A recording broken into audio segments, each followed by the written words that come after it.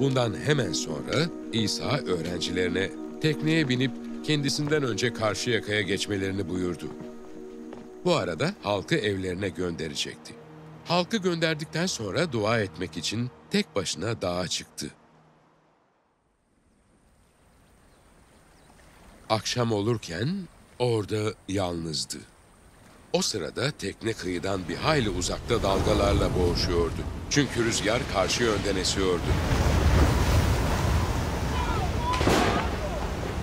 Sabaha karşı İsa gölün üstünde yürüyerek onlara yaklaştı. Öğrenciler onun gölün üstünde yürüdüğünü görünce dehşete kapıldılar. Bu bir hayalet diyerek korkuyla bağırıştılar. Ama İsa hemen onlara seslenerek Cesur olun, benim, korkmayın dedi.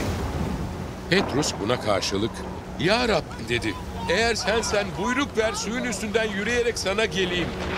İsa gel dedi. Petrus da tekneden indi, suyun üstünden yürüyerek İsa'ya yaklaştı. Ama rüzgarın ne kadar güçlü estiğini görünce korktu, batmaya başladı. Ya Rab beni kurtar diye bağırdı. İsa hemen elini uzatıp onu tuttu.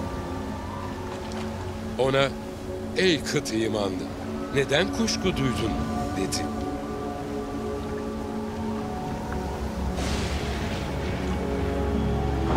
Onlar tekneye bindikten sonra rüzgar dindi. Teknedekiler sen gerçekten Tanrı'nın oğlusun diyerek ona tapındılar. Gölü aşıp Ginnesar'da karaya çıktılar. Yöre halkı İsa'yı tanıyınca çevreye haber saldı. Bütün hastaları ona getirdiler. Giysisinin eteğine bir dokunsak diye yalvarıyorlardı. Dokunanların hepsi iyileşti.